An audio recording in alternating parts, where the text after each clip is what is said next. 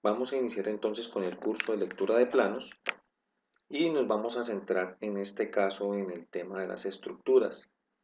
Vamos a conocer cuáles son los componentes de un proyecto y vamos a poderlos identificar y saber qué es lo que vamos a desarrollar en el presente curso.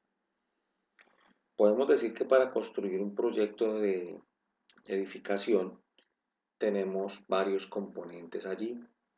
Uno pues es el tema de los planos que son los que nos guían y nos indican cómo poder realizarlo adecuadamente. Pero para poder iniciar una obra, eh, las entidades territoriales nos exigen unos documentos, que son la licencia de construcción, y para ello debemos tener varios documentos allí. Uno es el estudio de suelos, dos, el diseño estructural, las memorias de cálculo que hace el ingeniero civil, de ello pues salen los planos estructurales, los planos arquitectónicos y todo lo demás. Las especificaciones técnicas que son las que nos permiten saber con qué materiales y las características de lo que, con los que vamos a construir y otros importantes documentos que vamos a mencionar más adelante. Inicialmente, cuando hablamos de leer planos, eh, es comprender o leer cuáles son los símbolos que se utilizan en la elaboración de los planos y saber cuál es la interpretación adecuada de cada uno de ellos. El plano representa, eh, una, representa gráficamente las formas y las dimensiones de una edificación. Son necesarios para poder construir, para poder solicitar la licencia, para poder inscribir la propiedad en registros públicos, entre otras funciones. De allí pues que hay unas responsabilidades de cada una de las personas que intervienen en la etapa de diseño, que son pues los profesionales como lo define la ley 400 del 97. Y allí dice pues que los arquitectos son los que diseñan la parte arquitectónica, los ingenieros civiles son los que diseñan la parte estructural, el ingeniero eléctrico y el sanitario pues lo que les corresponde. Entonces en este caso vamos a revisar eh, porque cada uno de esos diseños se interpretan de manera diferente los planos. Los planos que podemos encontrar en una obra normalmente son los siguientes. Podemos encontrar los planos arquitectónicos o el proyecto arquitectónico.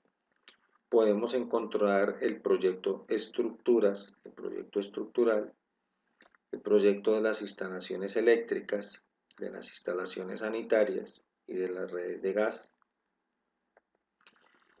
En este caso, nuestro curso se va a centrar acá en, los, en el proyecto de estructuras, donde vamos a comprender cuáles son todos los elementos estructurales, cómo interpretar adecuadamente los planos para garantizar que lo que está contenido en los planos arquitectónicos se cumpla y pues obviamente en los planos estructurales. Entonces, para esto debemos garantizar que las dimensiones del plano arquitectónico coincidan con los planos de estructuras. Entonces, ese es el primer chequeo que debemos hacer, verificar que los ejes coincidan las distancias entre el proyecto arquitectónico y el proyecto estructural. Para esto, vamos a identificar algo relacionado con la nomenclatura. Podemos encontrar la nomenclatura con la letra E que corresponde a planos estructurales. Y allí pues encontramos los planos de cimentación, los planos de las cubiertas, los planos de detalle de columnas, vigas, escaleras, planos de otros elementos estructurales, etc. Para esto pues nos vamos a valer del apoyo de ejemplos reales como mencioné antes, con planos donde vamos a identificar cómo transcribir eso que tenemos en los planos y materializarlo en la realidad. En términos generales podemos encontrar que en un plano, cualquiera que sea el tipo, vamos a encontrar cosas como las siguientes. Vamos a encontrar un formato o rótulo, donde vamos a encontrar toda la información del proyecto, donde se va a construir, qué se va a hacer, cuándo es el inicio, cuáles son los parámetros normativos y demás. Entonces, eh, es importante identificarlo para garantizar que se haga de manera adecuada esa primera parte del proyecto que en, pues en la mayoría de los casos es la localización.